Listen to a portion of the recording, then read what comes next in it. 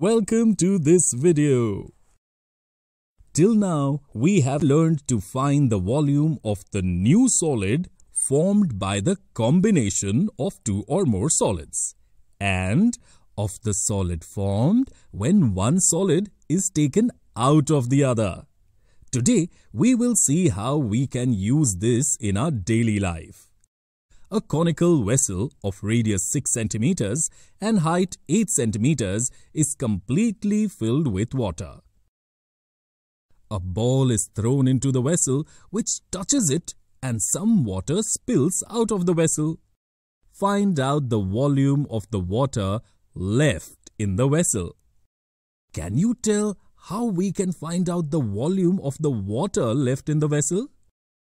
We know that the volume of the water left in the vessel is equal to the difference of the total volume of water in the vessel and the volume of the water spilled out of the vessel.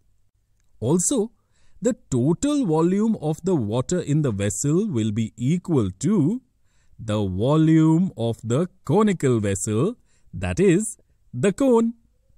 And the volume of the water spilled out of the vessel will be equal to the volume of the ball, that is, the sphere. Because the ball spills out as much water as space it occupies.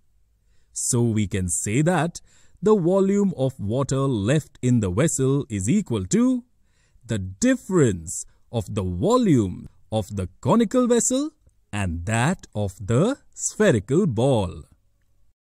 So now we have to find out the volume of the cone and the sphere. From the figure, the values of the radius and height of the cone are known to us.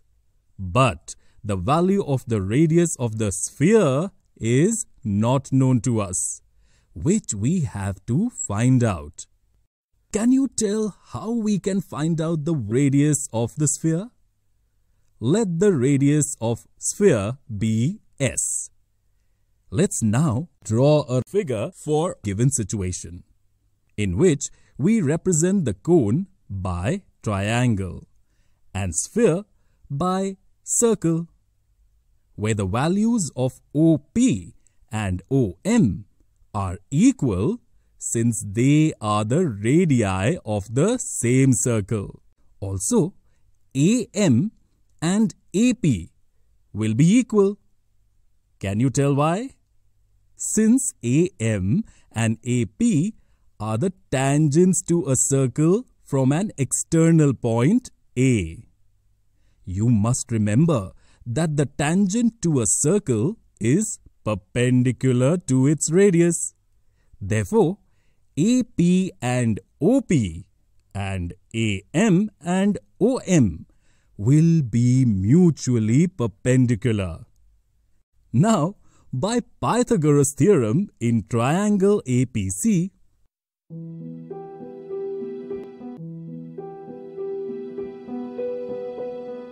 we get AC equals to 10 centimeters.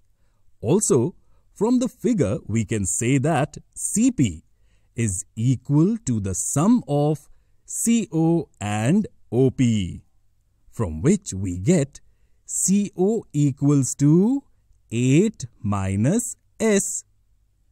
In the same manner, from the figure we get MC equals to 4 centimeters.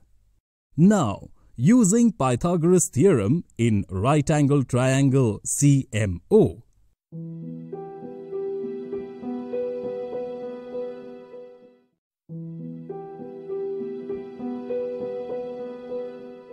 we get S equals to 3 centimeters, which is equal to the radius of the spherical ball.